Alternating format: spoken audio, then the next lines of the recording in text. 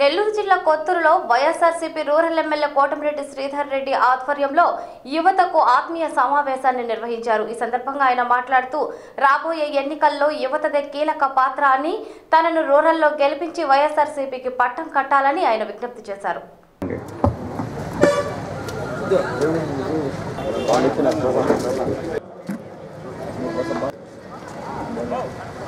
ఎందుకు యువజన విద్యార్థి సదస్సులు పెట్టామంటే తమ్ముడు?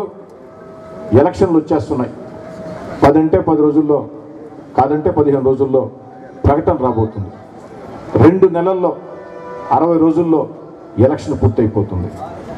ఈ ఎలక్షన్లు వచ్చే వేళ విద్యార్థులుగా యువతగా మీ అందరి సహాయం అభ్యర్థించేదానికి ఈ యొక్క ప్రత్యేకంగా సదస్సులు పెట్టామని తెలియజేస్తూ ఉన్నా. ముఖ్యమంత్రి కాకముందే ప్రజా ప్రస్థానం పాదయాత్రతో ప్రభుత్వం మెడలు వంచి ఏ నోటి వెంట రెండు వేల పెన్షన్ సాధ్యం కాదని చెప్పాడో అదే వ్యక్తుల చేత రెండు వేల పెన్షన్ ముఖ్యమంత్రి కాకముందే చేయించాడంటే అది జగన్మోహన్ రెడ్డి గారికే చెందింది. ఈ రాష్ట్రంలో ఉండే కోట్లాది ప్రజల పోరాట ఫలితమైన మనం చేస్తూ ఉన్నాం. నిజంగా చంద్రబాబు గారికి చిత్తశుద్ధి ఉంటే అమ్మా పొదుపక్క చెల్లిళ్ళారా? పోయినసారి నేను చెప్పా అప్పులు కొట్టేస్తానని నాలుగేళ్ళ తొమ్మిది నెలలు అమరావతి కట్టే పనులు చాలా బిజీగా ఉన్నా మీరు గుర్తుకు రాలా? ఎలక్షన్ టైంలో మళ్ళీ గుర్తుకొచ్చారు మీరు.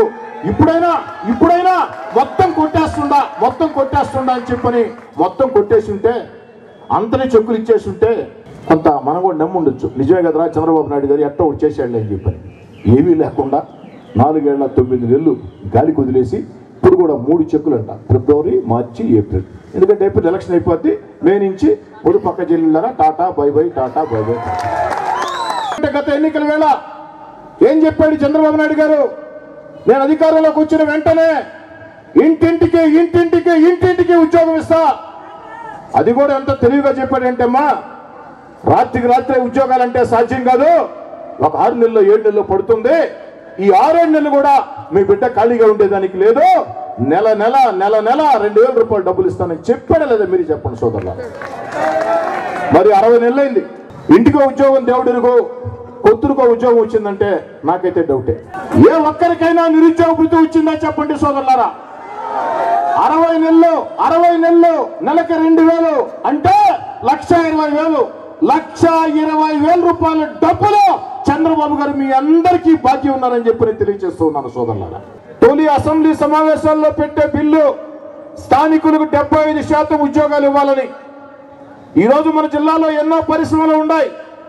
ఉద్యోగాలు మాత్రం స్థానికులు ఎవరూ లేరు. అంతా ఇతర రాష్ట్రాల నుంచి వచ్చేసి ఉన్నారు. కానీ జగన్మోహన్ రెడ్డి గారు పెట్టబోయే బిల్లులో స్థానిక ఉద్యోగాలంటే కొన్ని వేల మందికి ఈ జిల్లాలో ఉద్యోగాలు వస్తాయని చెప్పి మీ అందరికీ స్పష్టంగా సవినయంగా మనం చేస్తూ ఉన్నాను సోదరులారా. కానీ జగన్మోహన్ రెడ్డి గారు ముఖ్యమంత్రి అయిన తర్వాత ఏ బ్యాంకు చుట్టూ తిరగాల్సిన అవసరం లేదు. టెన్త్ క్లాస్ పాస్ అయినటువంటి ప్రతి విద్యార్థికి టెన్త్ క్లాస్ పాస్ అయిన ప్రతి విద్యార్థికి సొంతంగా వ్యాపారాలు పెట్టుకోవాలంటే టెన్త్ క్లాస్ సర్టిఫికేట్ మాత్రం ఉంటే చాలు.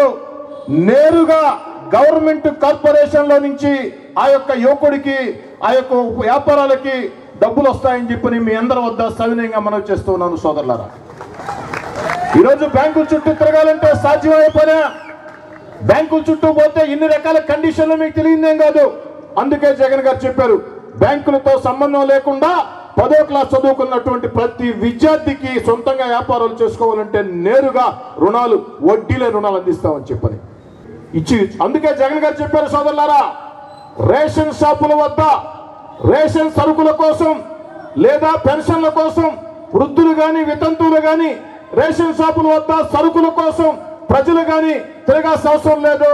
ప్రతి గ్రామంలో కూడా గ్రామ సచివాలయం ఏర్పాటు చేసి పది మంది నిరుద్యోగులకి ఉద్యోగాలు ఇచ్చి ఆ పది మంది ద్వారా ఆ గ్రామాల్లో వారి వారి ఇళ్ళకే రేషన్ సరుకులు పంపిస్తాం వారి వారి ఇళ్ళకే పెన్షన్ పంపిస్తాం అని చెప్పి రాజశేఖర రెడ్డి గారు ముఖ్యమంత్రి కాకముందు ఆరోగ్యశ్రీ కార్డు చేతిలో ఉంటే కోటేశ్వరుడితో సమానంగా వైద్యం చేయించుకోవచ్చు.